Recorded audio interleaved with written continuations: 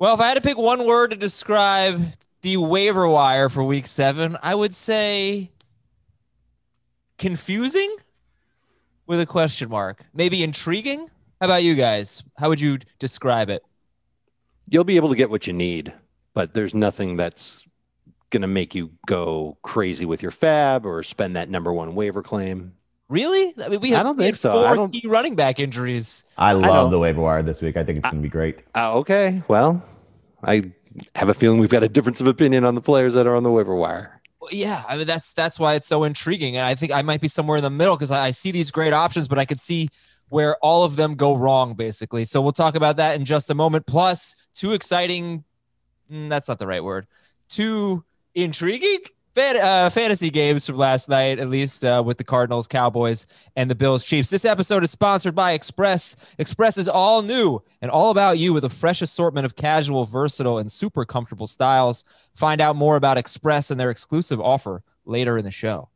All right, before we get to the waiver wire priorities, the Bills should have gone for two, right? Are people aware of this? Which point? After they scored in the fourth quarter? Yes. They they Yes, scored you're right. Mhm. they scored to make it 23-16 with about 6 minutes left. You go for 2. If you make it it's a 5-point game and then you're only down 8 when the Chiefs go kick a field goal. If you miss it's a 7-point game, which is basically the same as being a 6-point game at that point. They should have gone for 2. Agreed. You all should have been flipping out about it on Twitter. Okay. Well, at least I got But if that. that's your big takeaway from that game, I don't know what you're paying attention to. That's Uh, true. Well, that's my big non-fantasy takeaway from that game. Okay, But- fair enough.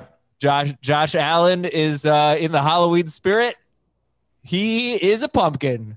Buy or sell. Oh, buy all the Josh Allen you can get. Yeah. No, he just I has. mean, he's he's about to go nuts this week. Look who he's playing. He's got the Jets. Yep. playing the Jets. But you, Uh, he might turn into a pumpkin after this week. I, I, I'll take it week by week with him. He just hasn't he's thrown the ball well two straight weeks. Uh, he has not thrown the ball well two straight weeks. You know, Defenses so- are flooding the zone against him. They're they're daring him to be accurate. Well, he's not doing it. No. So, the truth, truth or dare. The truth is he has not been accurate. Okay, top waiver wire priorities. Okay, Jamie, you're the excited one. What are we doing here with the waiver wire? I was I was pleasantly shocked to see what Justin Jackson's uh, roster percentage is at 59%. So if he's out there, that's an easy one to go get.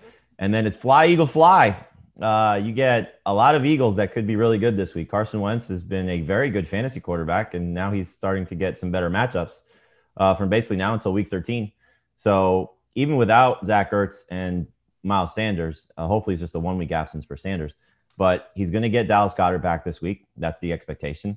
He's going to get DeSean Jackson back this week, and he's going to have uh, an opportunity to maybe throw the ball with a little bit more uh, ease of not getting pummeled like he has been the last couple of weeks. So he's in a great spot. Boston Scott now gets an opportunity to be the starter. He beat up on the Giants last year in two games. Hopefully he takes advantage of this opportunity. And then you got Travis Fulgham, who I was surprised was not added in more leagues, but he's available. His roster percentage is 51%. So he's been playing great. Uh, it's a big week for the Eagles. Yeah, I challenged Heath to write some columns with making a bunch of Eagles puns. Uh, I don't know that he did. Jamie, you should do the same thing. You should change your waiver wire. Like make every subheading, you know, like a Eagles song. Okay. Uh, I'll be yeah, sure go- not to do that, but sure. Good go for it see what you can do. Uh, I'm hopefully it's going to be life in the fast lane with these guys. Oh, he went to not- it's not like, easy. the most obvious one. well, I already Why don't did- you just take it easy? I, I used that one on fantasy football today in five on Sunday night. Oh, Uh, okay. I said, you know, I was I was gonna pick up Boston Scott in this one league, but I'm like one in five, so I'm already gone. You know that that kind of. but uh, uh, yeah, so Dallas Goedert is going to play this way. They have the Thursday game against the Giants. That you're thinking Goedert's back. That's the reports. I mean, obviously we have to see him get out there, but uh, you know, he's he's past the three week threshold of when he had to sit out, and it kind of makes sense that he's going to rush back now that Zach Ertz is not there. So uh, if he plays, he's a must start tight end, and you know could be a uh, potential difference maker for you if Ertz is out three to four weeks. So love the setup for him. Yeah, 41% roster Dallas Goedert. Am I crazy to think that he might be the best waiver wire option this week? I He's would probably there. put him behind Jackson, Yep. just given the position, but he's right there for sure. All right, Dave, why are you not as excited about the waiver wire as Jamie? I don't know if there's anybody on here that's going to be a league winner for you, but there's definitely pieces that can help you out over the next one, two, three weeks. So I, I don't mean to like poo poo it and say there's nothing out there. Don't even waste your time. You know, go do something else on Tuesday night. But I don't think that there's a like a number one spend your fab guy. Spend all your fab, Really? I should say. Well, no, I would I would Which on one? Goedert and Jackson.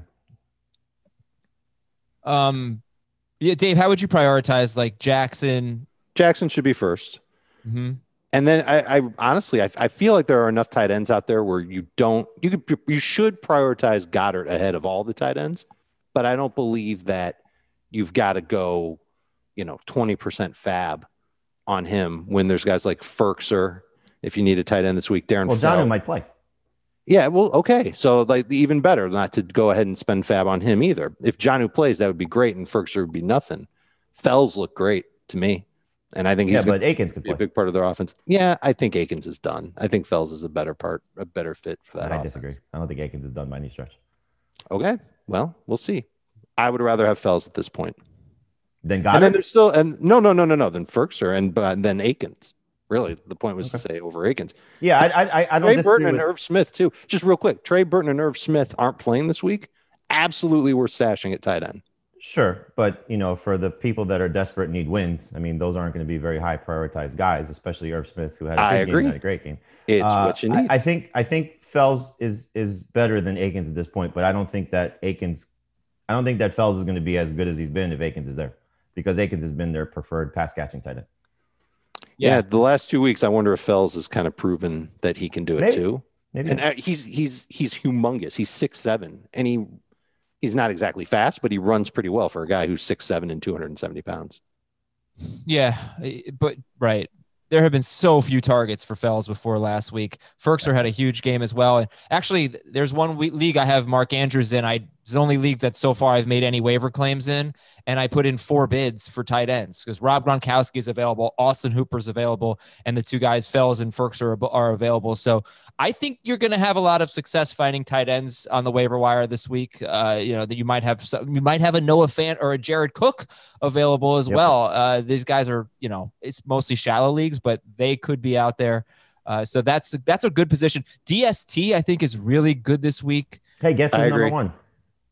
The Bills. No, The Eagles. oh, as in terms of waiver wire, but I'd take the Bills over the Eagles. Oh, of course. Yeah. Yeah. And the Bills are like, look, they just play the Chiefs. They haven't been good this year. They're playing the Jets this week. They're 61% rostered, 65% rostered. So, which is probably way too high. I don't know why they were rostered to that many leagues. because they're playing the Jets this week. People were looking ahead. I hope, I hope so. So, um, Hey, is really it confirmed that Goedert's going to come back and play? By the way, It is not confirmed. That's just the reports that are coming out of Philadelphia. what I read is that he's eligible to come back, but he still might need another couple of weeks. So it's something to monitor. I, I want to talk real quickly, not really quickly, but about these running backs, right? So Justin Jackson has a, not only you know a possibility to be the starter. He, pro- he we are thinking. Correct me if I'm wrong. We're thinking he's going to be the starter for the Well, he was the starter in their last game and and was their best player too in Right. the backfield. So Yep. He gets the Jaguars this week. They're horrible. Five, fifth most fantasy points to running backs. Gets the Broncos next week. They're actually number one against running backs. Then it's the Raiders, Dolphins, Jets. Not hard. I mean, that's a good stretch there, at least on paper. And then who knows? Ekeler might be back, but but this has always been a two back system. And if you rostered Josh Kelley before when Austin Ekeler was healthy, there's no reason not to roster Justin Jackson at this point. Uh, Boston Scott, he might have one or two games as the feature back for the Philadelphia Eagles. Does he have a good matchup? It's debatable. It's good enough. The Giants have been a lot better against the run in their last four games. No running back has a carry of even 15 yards, but they give up fantasy points. Then the really tricky one, I think, is Gio Bernard, guys, because Yep. haven't heard anything about Joe Mixon, but Giovani Bernard in his last three seasons, he's played four games without Joe Mixon. He has scored 12, 10, 14, and 20 non PPR points, 18, 13, 19, and 24 PPR points. if you just go back to 2017, he's played six games with at least double digits in touches, and in those six games, 12 or more PPR points. So my question is if you knew Joe Mixon was going to miss some time, even if it was just one game, would he be number one? Uh, the way that I wrote it was you can make a case that he's the best running back to add this week if Mixon's going to miss significant time. Um, it doesn't seem that's going to be the case, but you never know if there's something that shows up on an x ray. And Zac Taylor, the only thing that I saw, Adam, was Zac Taylor said they were waiting for more results on Monday or Tuesday. So we should get an yep. answer today, at least hopefully before waivers run. I think you can make a case that even if Mixon is out for this week, that Jackson is still better. Justin Jackson is still better. But Mixon, I'm sorry, uh, Bernard would vault ahead of Boston Scott for me, mm-hmm. just given the fact that, uh, you know, Boston Scott had a, already a one game audition as the guy in week one behind this offensive line and was miserable. Now they got punched in the face against that Washington defensive front. The Giants don't have that same level of talent. So I think Boston Scott would fare better than what the.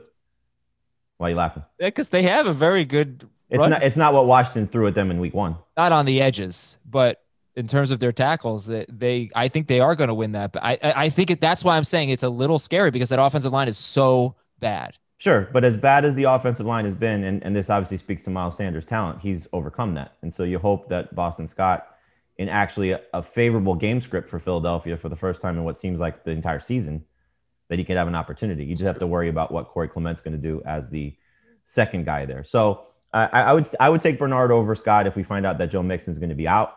But we also just don't know. You know, the report is Sanders is going to miss one to two weeks. Their bye is in week nine. So we could be looking at maybe they hold out Sanders for those two games. And then you have a two game window of Boston Scott being the lead rusher for the Eagles. So it's tricky. it's definitely tricky. You want to keep an eye on the Joe Mixon reports before you make your waiver moves if we find out something, uh, hopefully Tuesday night. Okay. And then what about the 49er situation? Because JaMycal Hasty just straight up played ahead of, well, they basically benched Jerick McKinnon. He just wasn't doing anything. And truth be told, since uh, since the like long run against the Jets. Basically, whenever Mostert's been hurt, McKinnon scored a lot of fantasy points. It's been great, but he hasn't really run the ball that well. I guess he hasn't been that efficient. Maybe that's the better way of putting it. So Hasty is un is unrostered, if that's a word, zero percent. Um, what's your interest level on him against the Patriots? It's not high. Number one, it's the Patriots, and I know that we just saw Phillip Lindsay compile a nice game against them, but he's not going to be their only back. Jeff Wilson could get in the mix. And the radio broadcast during the 49ers game on Sunday said that Tevin Coleman's close. Tevin Coleman's actually close to the top of my list this week. He's 23% rostered. And if you've got IR spots, you can stash him in the IR spot until he's activated. And he might not get activated. If he's ready to go, he might not get activated until Saturday. Can literally carry him all week long yeah, I, I don't know what changed penalty. between the broadcast Sunday night and Kyle Shanahan on Monday, but Shanahan called Coleman a long shot to return this week. Okay, so, well, that's um, probably um, a little bit more. I, I, think you just want to keep an eye on Coleman. I think it's a good call to stash Coleman. Yeah, uh, because he could return during the window of Mostert being out, but Wilson was inactive in that game against the Rams, and so if Wilson is out again, and it's McKinnon and Hasty, then Hasty's opportunity looks much much better and I think you're right, Dave, that you don't want to trust anybody against the Patriots.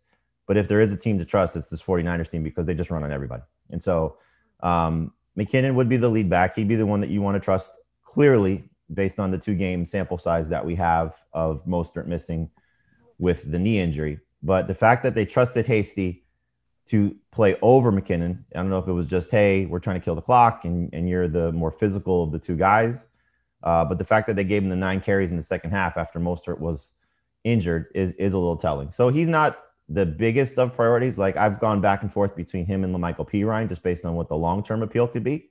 But in the short term, if you tell me that Wilson's out again, Coleman's not back, and Mostert's on IR, then Hasty is definitely in the mix with these other guys, but on the bottom of those other guys behind Scott and Bernard.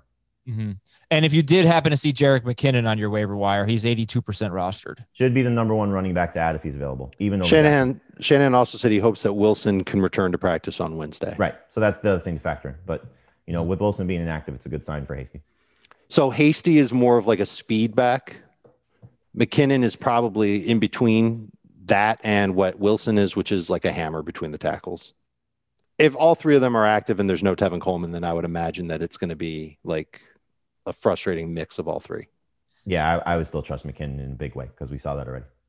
He would be my favorite of the three. Yes. He'd be my favorite of any running back available, McKinnon would be with, without a doubt. We, we've we've seen enough in the two games that Mostert was out. How much ahead of Boston Scott this week? Eat, yeah, ahead of ja- Jackson's the best running back to add, and then ahead of Scott and ahead of Bernard for sure. Okay. All right. But he's a, he's rostered already in eighty percent of Right. leagues, so Yeah. it's not Yeah. like you can find him very easily. All right, couple more questions here, and then we'll get to Fab. Where's Travis Fulgham in this list? You know, how does he compare to the running backs?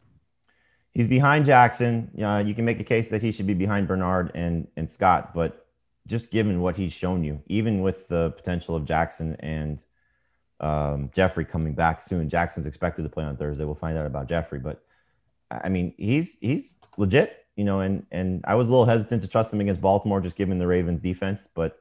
Um, the way that Carson Wentz is relying on him, the targets that have been there for him, the ability that he's shown as a big play threat and, and a physical presence, it's hard to ignore that. And so I know Jalen Reagor is eventually going to return and Jeffery and Jackson uh, as well. But uh, for at least a one week window against the Giants, I'll trust Fulgham as a low end starter. So uh, good for a streaming option if you're still looking at him as that. But I think he could have some long term appeal as well. 30% target share in his last two games, Travis Fulgham. Last player I want to mention real quick here. Any interest in Antonio Brown, who is eligible in week nine? I mean, he still has to be signed. So is that a no? It's a no for now. I mean, if you're you're talking about you know some dynasty leagues where he's available, some Deeper leagues. deeper leagues, then you can pick him up. But you got to have like you know, um, I'm sure you're going to look at him in our in our IDP league, which has 27 rosters spots. You can't add him now. Um, but uh, you know, that's the type of league you're looking to add in Antonio Brown. 14 All right, team, guys. team um, I want to ask you about your fab bids. First, I want to tell you about Express. Please, everyone, go to express.com. Check out the selection men's and women's clothing, jeans, t shirts, button downs, sweaters, cologne, masks. They got so much stuff, an endless list of things to buy on express.com and an awesome offer. Here it is. If you want $25 off your $50 purchase, text football to 397 737 you'll get 25 bucks off your $50 purchase. Text football to 397737. This is the new Express, people. They emphasize comfort, fit, and versatility. They've got perfect options for any type of occasion. If you just want to be casual around the house, they got t-shirts, you know. If you're going out to dinner with friends, they got button-downs, polos, all that. If you're going to work, if you're getting ready for the cold weather, they got sweaters and hoodies and, and great stuff like that. Check out the Lux Comfort Knits. Really nice stuff with soft fabric. So it feels like you're wearing your favorite sweats, but looks great. This is uh, something they're featuring. So definitely a section on there that you want to check out on express.com. And looking great is important, right? You, you look great, you feel great. You feel more confident. You get a little pep in your step. You get things done. You walk out the door feeling good about yourself, ready to kind of dominate when you're dressed well. So Express helps you do that, and it's very cost effective at the same time. You're not paying a lot for this stuff. Unbelievable bargains. And even a bigger bargain, you can save 25 bucks on your $50 purchase. You send a text to 397-737, text football. Again, text football to 397-737. So all that money you save on Express, you can put into your fab budget, guys. How much fab are we talking for our favorites this week? I mean, if you could find Jackson, that's at least 20%. If you could find Goedert and he's playing this week, that's in the 20% range. Uh, the receivers, they're all going to be around 10 to 15% of the top guys, meaning Travis Fulgham, Yeah. Tim Patrick, Christian Kirk, uh, Cole Beasley. At this point, you got to buy in. Um, even AJ Green, if you want to go that route, you know, given the fact the way he played last week. So they're all going to be helpful players to you. Um, and then at quarterback, you know, if you need somebody, Carson Wentz, uh, I would I would look at his upcoming schedule and his recent performances, and he's in that category as well. So you know, it, it depends what you need. You know, if you need somebody that's going to help you and you're and you're you know flailing at this point with your record, uh, you may have to spend you know 50% on a guy like Jackson if he's out there, or Goedert if you need a tight end, or even you know 30 to 40% on one of these wide receivers just to make sure you get him. I think Boston Scott's going to be popular too. I don't know if I buy into spending 30, 40% of fab on him, but I would imagine that it's going to take over 20% to get Boston Scott onto your roster because people are going to see Miles Sanders is out. This is the next guy up. And uh, they're, they're going to spend to get him. Where are you going to rank him? Where are you going to rank Boston Scott, Justin Jackson this week? Jackson's in the uh, top 20 running backs for me, and uh, Scott is on the cusp of a starter. Jackson is it, it's basically the same thing for me. I've got Jackson inside the top 24. Okay. And Fulgham, is he a top 24 receiver this week? Top 30? Uh, definitely top 30. He's Yeah, uh, like around 25. A lot of good receivers this week. He's higher than that for me this week, but there are a lot of really good receivers. He's in my top 24. It seems like you guys expect the Eagles to do quite well against the Giants. I don't know why we would think that. I think they'll I think they'll win. they'll I- keep it competitive. I, I think they'll win too. I think it's going to be their defense that probably helps them out the most. But Wentz is making plays. He's doing a good job. Fulgham's making plays. Uh, Can They're, just they're getting Carson, by. Carson Wentz is 20th per game right now. You you look at his fantasy points. I know, but his last four games, he's been better. because he has rushing touchdowns. Mhm. So that's That was part of his success when he was 100% healthy in 2017. yeah, Mhm. but it, it's a little like he's got four rushing touchdowns this year, so it's a little unsustainable. Sure. He does throw the ball a ton. Uh, I get it, but he has not had a good year. He's had a really Oh, bad he's, year. he's been, I mean, he's been sacked 25 times in six games. You know, I mean, Right. that's a big part of it. Is His offensive line is a disaster. But I mean, yes, he's got uh, four rushing touchdowns, and three of those have come in the in the four game stretch where he's been good.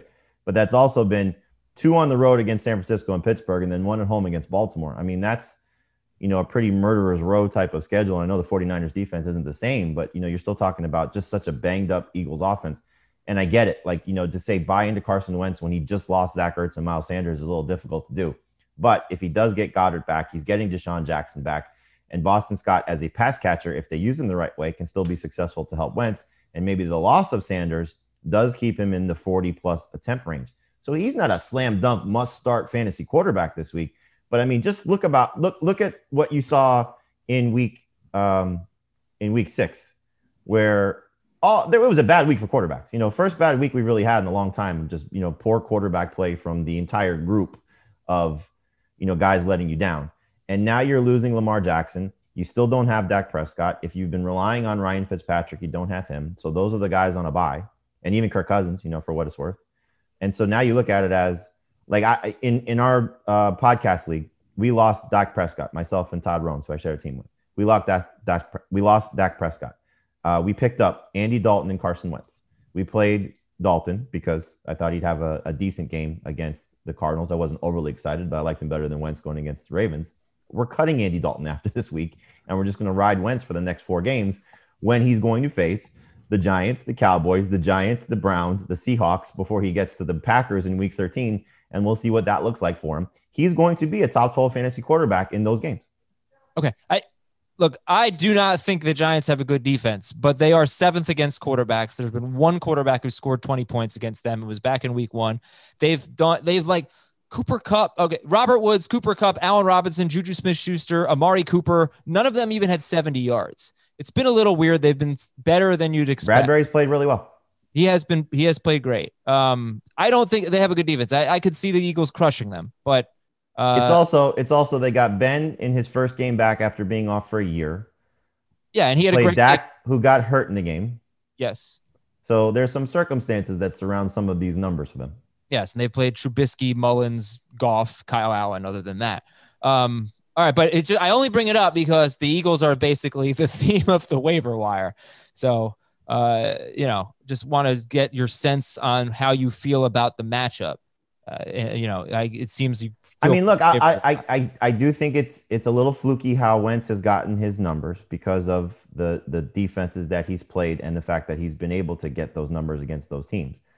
But if you say any quarterback is throwing 40 plus times, there's a chance that he's going to have success. And with the fact that he's running, and, and just if you take away the touchdowns, I mean, three of those four games, he's over 37 rushing yards. So Yeah. if he's giving you three points as a floor, which is a little hard to be, you know, sustainable, but it's kind of what he's done. Then Mhm. you factor that on top of what his passing numbers have been.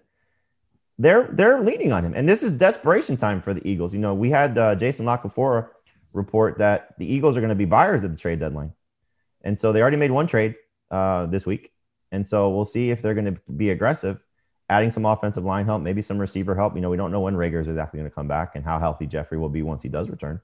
So if they're going to add offensive pieces, Wentz could be even more attractive once we get past November, I think third or fourth, whatever the trade deadline is. Okay. It's not it's not um, a, great waiver wire week for quarterbacks, correct? Well, I mean, Carr has been great. Yeah, but you're not starting against the Bucs, are you? Uh, no, but you know, if you're looking, you know, past that, and then Garoppolo, he's played two healthy games Yeah. and 22 or more fantasy points in those two games. You But know, so you you huh? He's got the Patriots. You don't have you don't have that game where you've got Ryan Fitzpatrick against the Right. Jets. You don't have that game with that beautiful matchup and that Right. player who's available. You could you could be looking at it's very similar to McKinnon. You could be looking at somebody who dropped Herbert going into their bye week.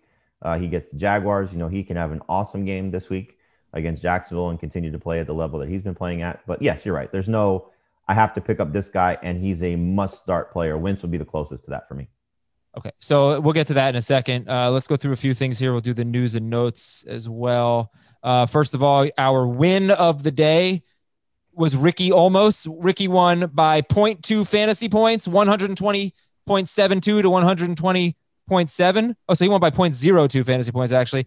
And it was all thanks to that long Kenyon Drake touchdown run at the end. Huge win for Ricky. Congratulations. Tweet of the day came from Quinton Clark. Quinton said, do any of the FFT guys actually play any serious football? I found that to be a hilarious notion. No, we don't, unless Thanksgiving games count. Birthday of the day goes to our good friend Richard Punch out in Australia. Today is your birthday. Congratulations. Happy birthday. Dave, am I forgetting any big birthdays? From over the weekend Yeah, yeah, last couple days. And Monday, uh, no. No. Uh, oh, just kidding. It's Jamie's post birthday. Yesterday was Jamie's birthday. Happy birthday, big man. Thank you. I appreciate that. Reggie. Jackson, 44. Reggie Jackson. Good birthday. It was a great birthday. Two football games. Uh, got to spend some time with the family. A lot of work, but you know, anytime you get to spend time with the kids and uh, watch some football, it's always a good day. All right. And your birthday present will be a Twitch appearance tonight, 8 p.m. Eastern. Everybody come hang out with us. Twitch.com slash FF today will answer your waiver wire questions. Also, the UEFA Champions League is back with every match streaming on CBS All Access. Messi, Lewandowski, Neymar, icons of today, but the next generation is not far behind.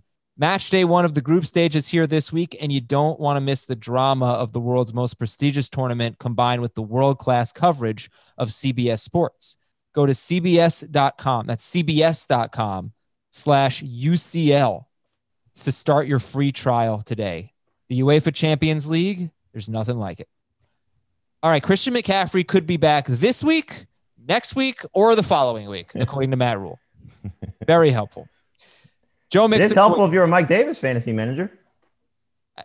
Is it? I mean, it- Yeah, you might. I'm assuming McCaffrey's not going to play this. I traded I traded Mike Davis uh, in one league two weeks ago, and with the thought of that it was going to be one more week of using Mike Davis, and so you can just continue to use him. I mean, it's frustrating if you're the Christian McCaffrey manager if you don't have him handcuffed, but if you have Mike Davis, you're thrilled. Uh, Zach Ertz, three to four weeks. Miles Sanders, maybe one or two games. Jalen Hurts could see more playing time for the Eagles, by the way. I'm not sure. I guess that doesn't affect your Carson Wentz love, but keep They've that- played together quite a bit. Yeah, he may be their best running back. Des- yeah, DeSean Jackson expected to play. Alshon Jeffery could play, so they're getting healthy at the right time in a crucial battle for the NFC. Um, Least. Cowboys Cowboys still in first place with two wins. Uh, Mark Ingram has a chance to play in week eight. They got to buy this week. Ingram could be back in week eight. J.K. Dobbins is about 80, 80-ish percent, I think, maybe 70 to 80. Gus Edwards would be an interesting stash. Obviously not a priority, but somebody that, you know, maybe your third turn on the waiver wire bids could could put in. I Just hope it's happens. you know I I said this. Uh, um, I wish I had made it my start of the week instead of just my bold prediction. But I said that this would be the D'Andre Swift week, um, coming off their bye week. That you know this is the game to feature him against Jacksonville, and I hope it's the same thing for Baltimore. Like you, you know Mark Ingram and Adam. I I didn't send this in the notes to you, but Mark Ingram should be on the drop list. Um, he's at ninety six percent. So if you want to add that to your notes. Um, it, it, it's time. I mean, Ingram's banged up and has just not looked the same. You got to start to feature J.K. Dobbins. Like Gus Gus Edwards is a nice player and he's a good backup. He's not as good as Dobbins. Get to the next level as a team, and Mark Ingram was at that level last year, and he was fantastic. But he's older, and you have a young, what I would hope would be a improvement, and we saw it with Miles Sanders last year. I hope to see it continuing for De- D'Andre Swift, and I hope that this is the week that they just give everything to J.K. Dobbins and they come off their bye week and use the Ingram excuse as the reason why they're going to start to use him more. Somehow he's still available in 22% of leagues. Dobbins. I mean, I get it. He hasn't No, been I- good in, in redraft leagues. It's it's hard to continue. But to we know him. there was never a suggestion to drop him or let him go from us. We knew that there would. I had it. be I had it. I had like it the this. last couple weeks as a suggestion, just based on the the, Okay. the if you had to make Yeah. a move. We don't know that there's going to be an opportunity. We hope there's going Right. to It's be. it's it's Well, it's, it certainly helps if there's no Mark Ingram. Well, that- so yeah. just hearing But that he's got a chance to play in week eight, who knows? Who had more carries last week? Edwards. Edwards. Yeah. Right. And this was this But was he always, wasn't good with them. this was always the fear, but none of them were good. You know, this was always the fear of, you know, banking on J.K. Dobbins as the direct backup.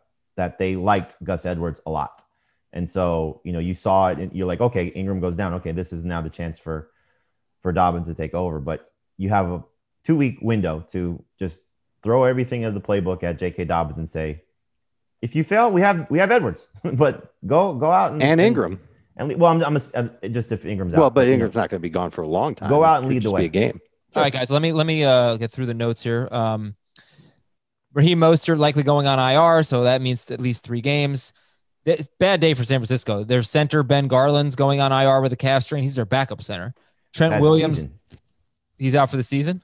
No, bad season for Oh, them bad with season. injuries. Oh, Yeah. ugh, horrible. I mean, San Francisco and Philadelphia are fighting for who's going to be the, the, the most banged up team for the year. Yeah, even the Chargers are laughing at him. Trent Williams, their left tackle, sprained his ankle. Their safety, Jaquiski Tartt, left with a groin injury. Meanwhile, a couple of Giants notes. Darius Slayton, he was listed as limited. He's dealing with a foot injury. Uh, coming on a short week here against Philadelphia. You might want to, if you're banking on starting him, you might want to think twice. Sterling Shepard could be a game time decision. By the way, like, do you guys think Slayton is a start this week? Yeah, he if he plays, plays. Leighton Vander Esch played. Um, Poetic Justice. I played Jamie's team in the IDP league, and I kicked Jamie's ass. It was wonderful. Wow. And, uh, and only two and a half points from Leighton Vander Esch, but he's First still game somebody. back, shake off the rust. How about I had a 30 point lead going into uh, Monday with Edwards Helaire, and Edwards Helaire pops off, and I ended up tying Jamie Yep. in our uh, fantasy football Wow. today telethon league. Let's see if there's a stat correction coming. Yeah, well, let's see. It could go my way too. Good. How No, about I, I the- wasn't saying it for me. I was saying. For Oh, okay.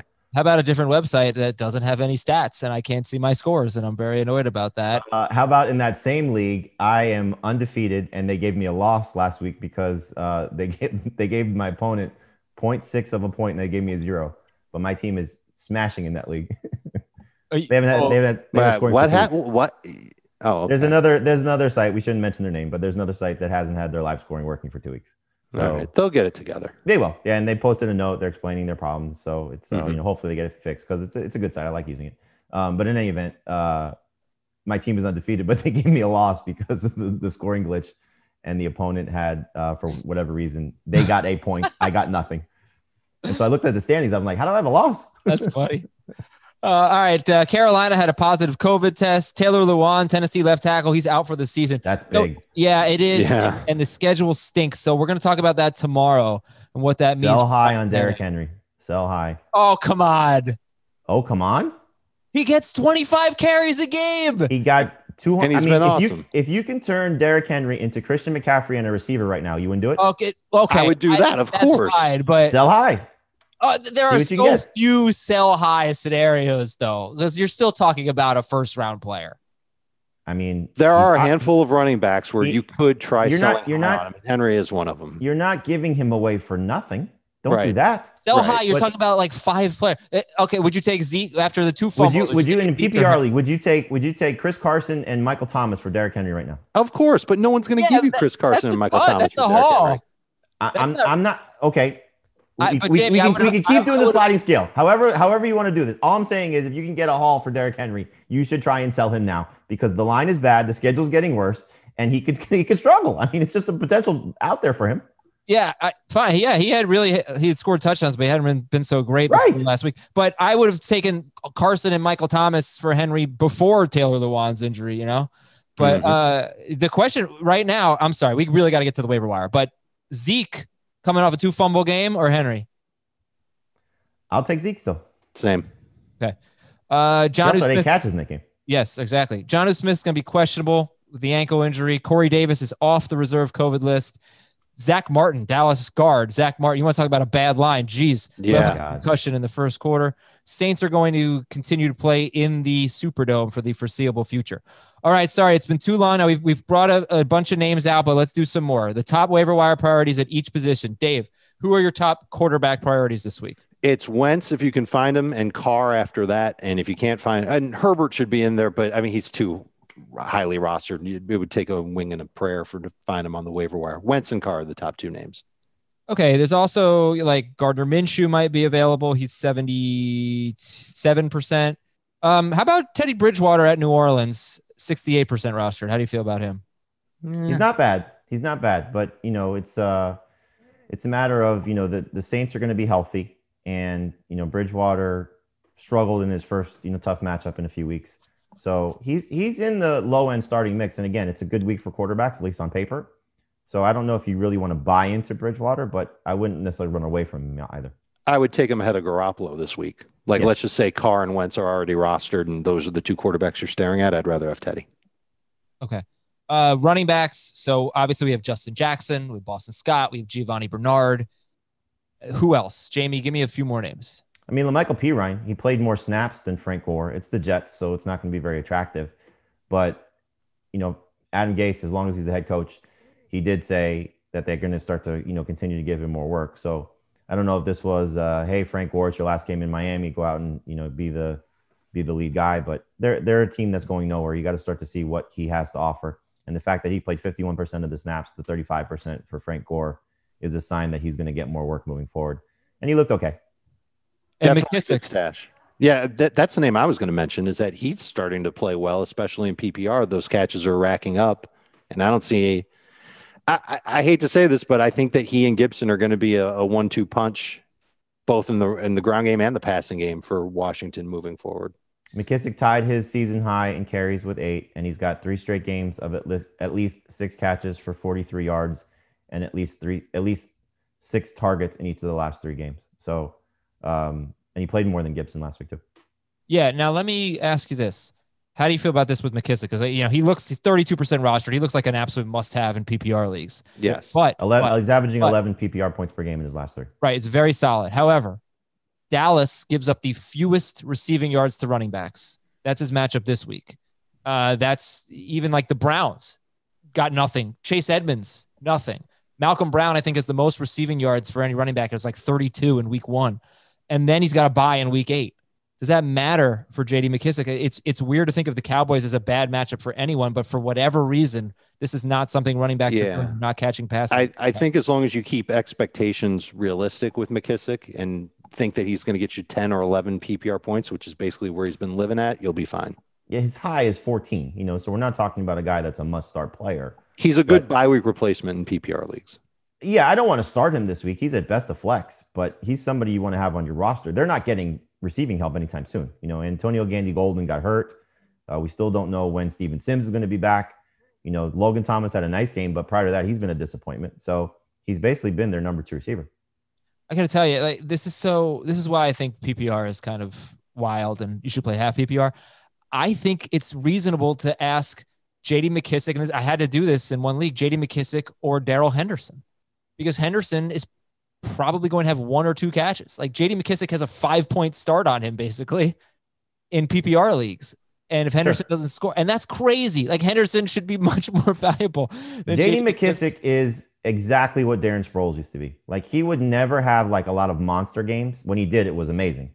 But for the most part, you knew what you were getting from Darren Sproles. You'd get four to five catches, you'd get 30 to 40 yards, and he'd be a nice floor flex play for you. And you know, he's in that conversation with James White. He's in the conversation what Tarik Cohen used to be when he was healthy. That's the type of player JD McKissic is. Okay, wide receivers. So we know Fulgham. Who else, Dave? Tim Patrick would be second, Christian Kirk third. We haven't talked about Keelan Cole yet, but is he the best wide receiver in Jacksonville? And he's available in more than two thirds of CBS Sports leagues. No. And Preston I would- Williams is on a bye, but if DeVante Parker's out for a while, that's your new number one receiver in Miami. DeSean Jackson. Uh, that's that's my list. I could be Mike missing. Williams. Mike Williams. Mike Williams would be a good one as well. Where would he be? So you Tim. So it's Fulgham, Tim Patrick, Fulgham, Patrick, and Kirk are, are for sure the top three. I I'd hesitate a little bit to put Keelan Cole ahead of Mike Williams, but I think I would do it. And Mike Williams would be behind Keelan Cole. Ahead Mike Williams gets the Preston Williams is on a Jaguars this week. Give me all the Mike Williams I could potentially handle, and Keelan Keenan Allen is still not 100. percent uh, At least that's the uh, well. If you're the Mike Williams fantasy manager, you're hoping Keenan Allen's not 100. percent He left last game for them with back spasms. He's expected to return, but that could be a big opportunity for Mike Williams, as we saw against the Saints. But he's only had right. But he's only had one good game, Right. and it was with Keenan Allen. He's also hurt. been uh, banged up, so uh, you know this is, was his first big game with Justin Herbert, and so I'm excited about what the upside could be moving forward. good job on the Tim Patrick call, Jamie, from a few weeks ago. Wish Yeah, had, you were fighting about that one. No, I wish I had listened. I mean, still think Noah Fant could throw a wrench in things, but 100, percent yes. you gotta you certainly have to buy into the production at this point. And he he was Gilmore was on him a good portion of the game, so they gave him the respect of of the the best corner. All right, tight end, uh, Jamie. Who are our top tight end priorities?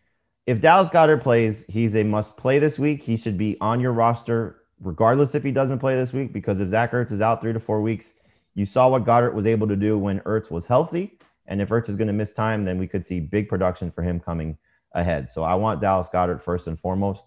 And then it's kind of a mixed bag. You know, you look at what Anthony Firkser could be if there's no Jonnu Smith, but it's a tough matchup against the Steelers.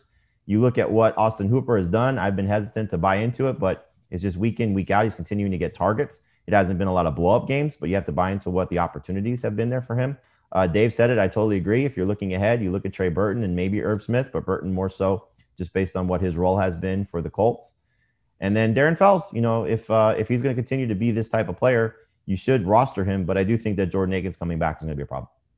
And what about Gronkowski? Where would he measure up here? Gronk would be behind Goedert, ahead of Hooper. Okay. Uh, DSTs, Dave. I, lo- I love it this week. I love DST this week. What are we looking at? Bills, if they're out there, they're available in 35% of leagues. They play the Jets. It's a slam dunk. Eagles against the Giants. Giants against the Eagles, although they're already rostered in 71% of leagues, so forget that. Uh, Saints, The Giants are oh 'cause 40%. I, I, I know. Wow. Yeah, the Saints. Saints are pretty good. Who do you like? I like the Chargers. Uh, I think they're getting Melvin Ingram back this week. No, but I, I- these are the teams. Uh, Buffalo and Philadelphia are the are the headliners. Dallas, I th- I liked Dallas more yesterday before I watched them play. Right. I can't. They're can't playing trust anyone. Washington. Anybody playing Washington is it's just it's a step above the Jets, barely. Yeah. I I thought the last couple weeks have been pretty lean in terms of streaming DSTs. I think you're going to find this week to be much more favorable. And Jamie, who are the kickers to pick up? Uh, Michael Badgley gets the Jaguars. He's 30% rostered. Uh, Ryan Succop gets the Raiders. He's 54%. And Brandon McManus has been great for the last two games for the Broncos. He gets the Chiefs. All right. Good stuff. Um, let's do these games from Monday night real quick here. Kansas City 26, Buffalo 17. It was an interesting strategy for the Bills. It kind of worked. They took away the deep ball, it seemed, and just said, go ahead, run the ball. And they That's what forced the a lot of field did in goals. week one, too. Mm-hmm. What, what happened in week one? The Texans did the exact Texans. same thing in week one. Yeah, and they forced field goals. The Bills, they were in the game. Their offense stunk, though. All right. So what's a bigger? Because bigger the Chiefs almost did the exact same thing. what's a bigger takeaway that Clyde Edwards Helaire had this massive game with 161 yards and looked great, or that Josh Allen has struggled a couple games in a row now? Oh, it's Edwards Helaire. And the fact that Andy Reid came out after the game and said he's our starter, you know, that's an encouraging sign. And, and I thought this was going to be the case that they would feature Edwards Helaire just with the notion of, you know, you, I- I'm, I'm going to guess that Andy Reid is uh, on the same pra- page as Brett Veach, but I, I think that they really like Edward Helaire. And I don't think they want to necessarily ruin what his confidence could be and what his upside could be as the lead rusher for the Chiefs. So the fact that they went out and gave him this much work, um, 30 total touches, is just fantastic. So, he's not going to be this type of guy with Le'Veon Bell on the roster, but this is still a very, very good sign that he's still going to be their guy, and you could trust him as at least a number two running back, even with Le'Veon Bell expected to play in Week Seven. Just reaffirms what I was saying toward the end of last week when when this went down. Bell is there to replace the other guys. Yep. He's not there to replace Edwards Helaire. Now, if Edwards Helaire ends up stinking, then he could do that for them. But I don't think that's the plan. I think Edwards Helaire is, like Andy Reid said, starter. Okay. Two two quick notes on on that though. Um, we still don't know if he's the goal line back. He had another touchdown call back two weeks in a row. and they had that fourth and one, that key fourth and one late in the game, and it was Darrel Williams who was in, who got the carry and scored the touchdown. Uh, in terms of the Bills, Devin's there's so much. See, I, I yeah, I think about with this I. I think the Josh Allen side, I think that is the more concerning issue. The fact that it's two straight games where defenses are just flooding back and not pressuring him and trying to contain him with four guys from running around, and he's having a hard time. He's, he's facing the most blitz-heavy deep. defensive coordinator maybe in the history of the game this week. So I don't think they're going to have the same plan by the Jets with Gregg Williams just throwing guys. Sure. at. So this is a get right game for him, and I don't think anybody should be concerned this week. But moving forward, the schedule isn't going to be easy for him. Uh, Three of the no, but look okay, but I mean, Yeah. he's got New England in week eight. Even if he had played well in these games, we'd be a little bit concerned about him facing the Patriots. Mhm. Get Seattle in week nine. That's an easy matchup based on what we've seen from that defense. Arizona, I don't buy that the fact that they're a top 10 defense against opposing quarterbacks because they really haven't faced a lot of great guys in that regard. And then you get past their bye week, and it's going to be the same type of thing. You know, good matchups, some tough ones. but- Chargers, 49ers, Steelers, Broncos, Patriots. Yeah, I mean, he's a sell high candidate after this game for sure. So after he beats up on the Jets, you could try and flip him. Okay. I, I mean, what happened to he's going to win MVP? He's like that's what I'm saying. You know, th- there was a, it was a rainy day yesterday, and Troy Aikman at least seemed to think that some of his errant throws were a product of the wet ball. Troy, Right. Troy Aikman loves to talk about how he struggled throwing a wet ball. He He, does- says it he does every time there's that. a rainy Yeah, game. it does. Like he does. uh, Devin Singletary played 75 percent of the snaps, but this team I'm worried about him. really struggles. They You just should can't be. run the ball. Yeah. I'm worried about him. I'm worried about the fact that Zach Moss came back. This was the hopefully shake the rust off game. Zach Moss, if he's available, he's at 72%. I would pick him up because he could inject some life into this Buffalo run game because he was going to be in a shared situation with Singletary. And their offensive line has not played well in terms of run blocking. So that's part of it. But Singletary just has not gotten the job done. And you might wonder if Sean McDermott and Brian Daboll decide to give Zach Moss a little bit of a longer leash. Well, but Moss also hasn't been amazing when he's played. No, And but, but this was this wasn't one of the other teams. This was one of the other teams rumored to be in on Le'Veon Bell. For sure. So who knows? They could make a move to add a different running back at the trade deadline, something like that, to try and inject life, like you said, into the run game. They need it because Singletary hasn't gotten the job done, and I don't know if Moss will if given the chance.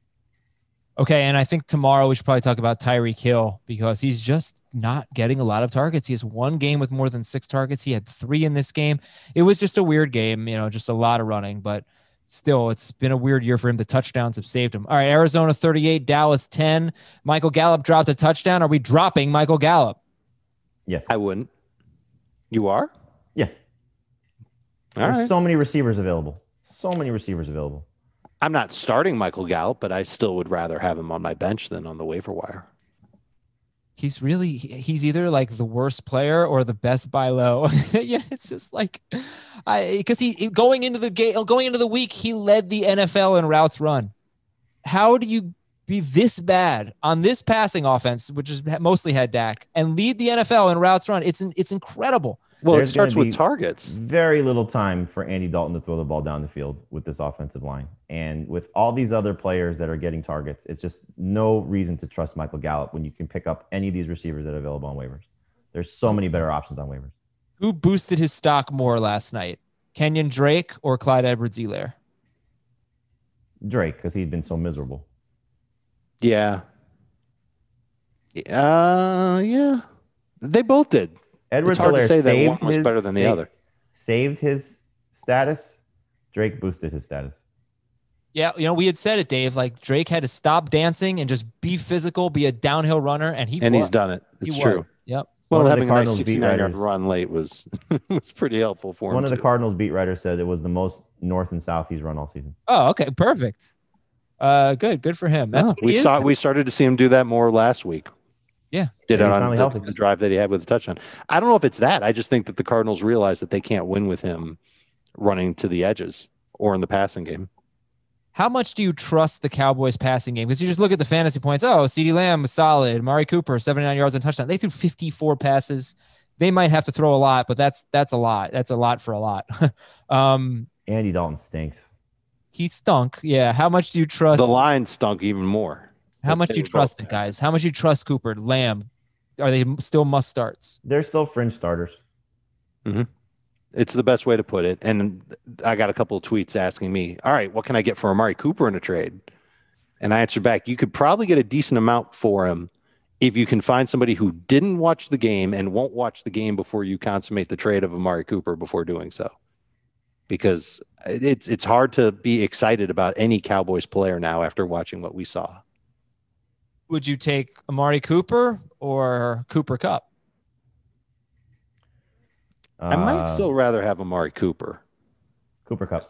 Kupp is just uh don't Yeah. like what I'm seeing from Kupp. Okay, well, we have got to talk more about the waiver wire, and we also have to talk about Amazon Prime. Are you an Amazon Prime member? Did you know that you can watch Thursday Night Football live on Prime Video, the future of football? You can catch all the action on any device almost anywhere in the world. You can choose your favorite announcer, including Troy Aikman and Joe Buck, or Bucky Brooks and Daniel Jeremiah from Move the Sticks, or Chris Long and Kerry Champion from NFL Next. Get next gen stats, watch in game replays on demand, all within Prime Video's X Ray. Next gen stats are real time stats powered by AWS. So no more waiting around. You can access the current stats at any time. It's great for fantasy if you need to check how you guys are doing. Uh, it's the ideal way to stay up to speed. In game on demand replays are accessible on your remote, on Fire TV, or by turning your mobile device sideways. So if you're a streamer or simply want the most custom way of watching Thursday night football, tune in live every Thursday. Uh, coverage begins at 7 p.m. Kickoff is at 8:20 p.m. Eastern on Prime Video. Also available on Fox and NFL Network. NFL Network simulcast subject to change, and Thursday Night Football is presented by Bud Light Platinum. All right, guys, time got away from me a little bit here, so I'll probably just ask you to be a little quicker. Um, Evan Engram on the dropometer. Let's start with the dropometer. Evan Engram, zero to ten. Two. Uh, eight. That equals 10. Uh, okay. Um, so difference of opinion there. Another good matchup, but that hasn't meant much so far. How about Robert Tonyan at Houston? Seven. Four, How about Mecole Hardman? Six. seven, Michael Gallup? Six. five, T.Y. Hilton? eight, Jarvis Landry? nine, Wow. Jamie, what's your number on Landry? Six. Jerry Jeudy? Uh, eight, Five. Damien Harris? Zero. three. Ah, finally, someone we were not dropping. Okay, waiver wires. I'm going to give you some names. Let's start with quarterback. How do you feel about Joe Burrow if he is available? 78%, so probably not, but he gets Cleveland this week. He'd He be, would be- ahead of Bridgewater and Garoppolo for me. He'd be ahead of Carr for this week. He would be behind Carr long term. What about Minshew? Uh, I would go for this week. It would be Wentz, Minshew, Burrow, Carr. You're and I would go, oh, sorry. No, no, yeah, you'd start Carr over Garoppolo this week.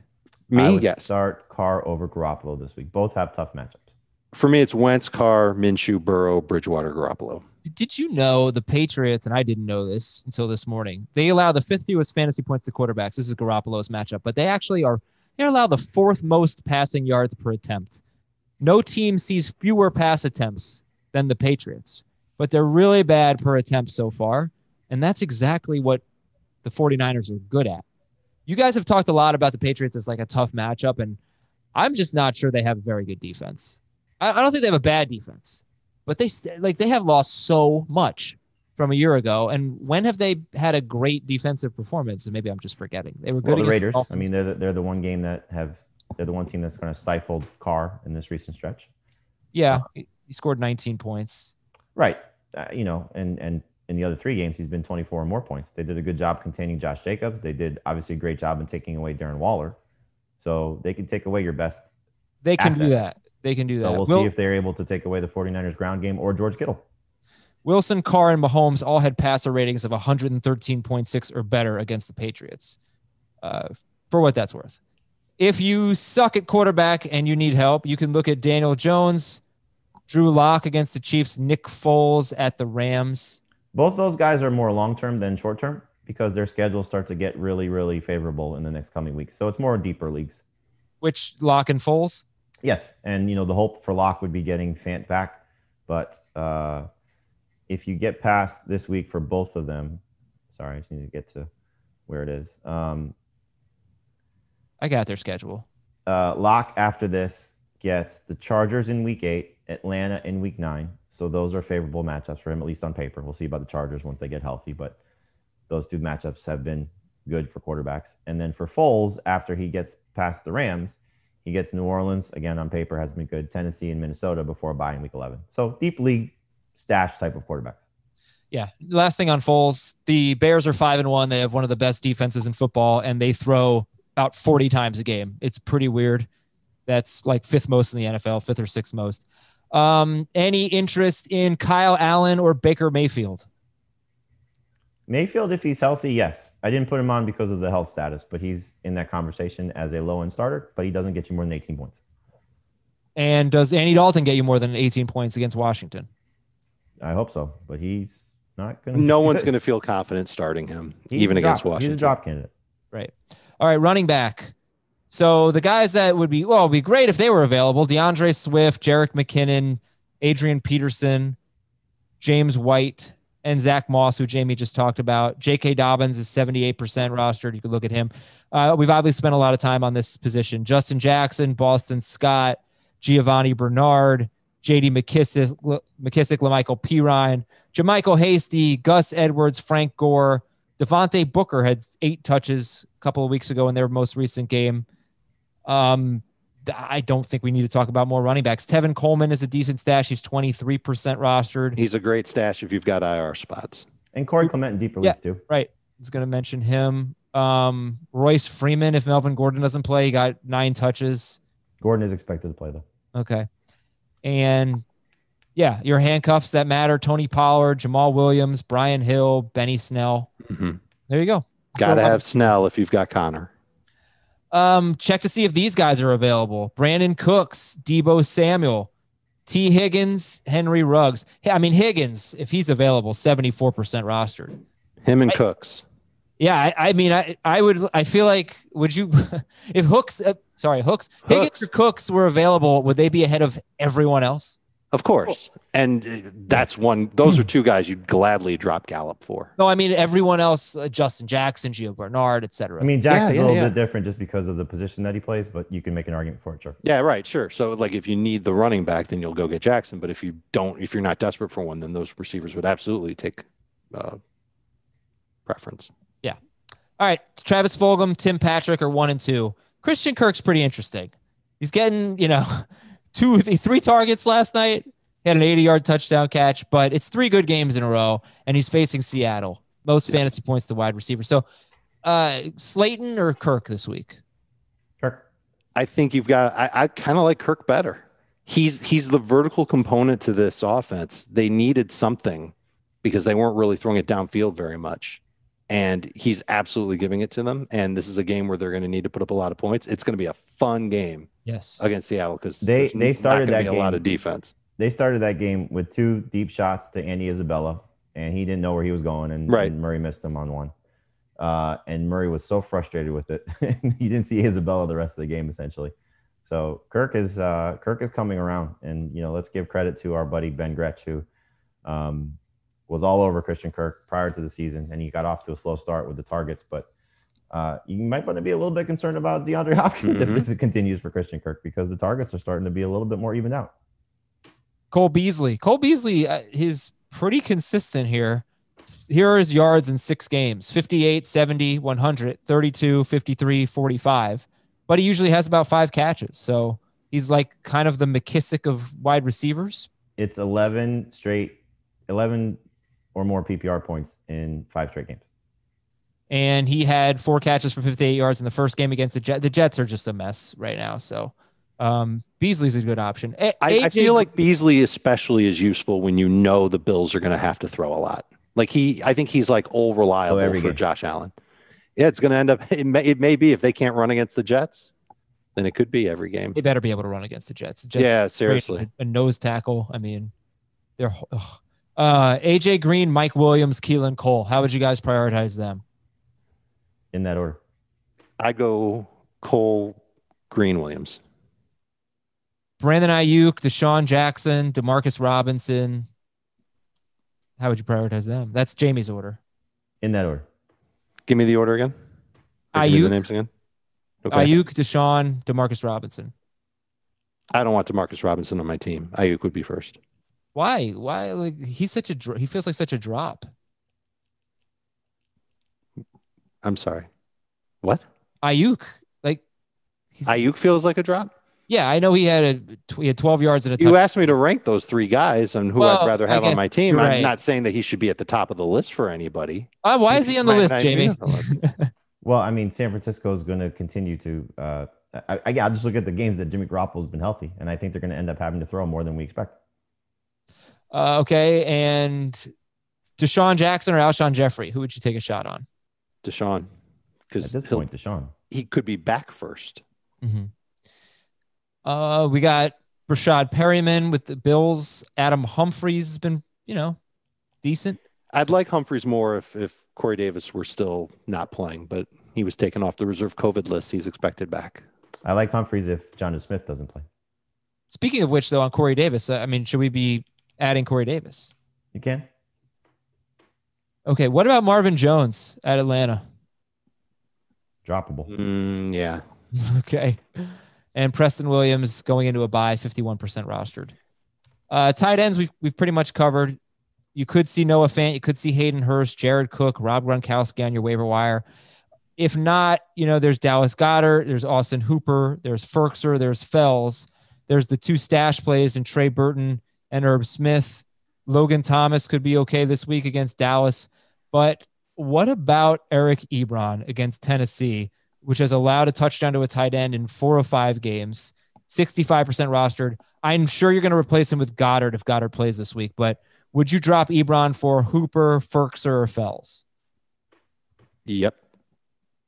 First are Uh, assuming that Smith is out. I, I'm Yeah. I can't trust Eric Ebron. And I would not start Fells over Ebron if Akins plays. Right. Okay. And then the DSTs, Eagles, Chargers, um, Bill, Bills, if they're available, Eagles, Chargers, Cowboys, mm, Browns. Any interest? Browns at Bengals? Nah. They're okay. They'll beat up on Burrow. They'll sack him. Saints against Pan- Panthers? Same. They're, They're okay. they're toward the bottom. Okay, so the Eagles seem pretty good this week, and uh, Michael Badgley, Ryan Succop, Brandon McManus. Cool. Good show, guys. Well done. Really proud of you. Thanks. Yeah, you're welcome. Okay, now we're out of here. We'll talk to you on Tuesday night on Twitch, twitch.com slash FF today. Wednesday with our super fun show. We'll play a game, mm, Fantasy Feud or something like that. It'll be great. We'll talk to you then later.